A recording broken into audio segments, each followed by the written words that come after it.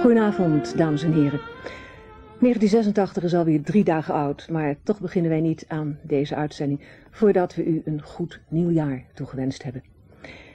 We starten vanavond met een serie portretten van Zuid-Afrikaanse schrijvers en schrijfsters onder de titel Vanuit de wortels gezien. Al deze portretten zijn recentelijk gefilmd, behalve de eerste, want die hebben we in februari 1984 al uitgezonden en die is het echt waard om herhaald te worden. Het is een portret van een schrijver uit Kenia, Ngugi wa Thiong'o, internationaal bekend en vroeger professor aan de Universiteit van Nairobi. Op het ogenblik woont hij in Engeland, omdat in zijn eigen land, Kenia, de vrijheid van cultuur en de vrijheid van degene die die cultuur bedrijven niet gewaarborgd is.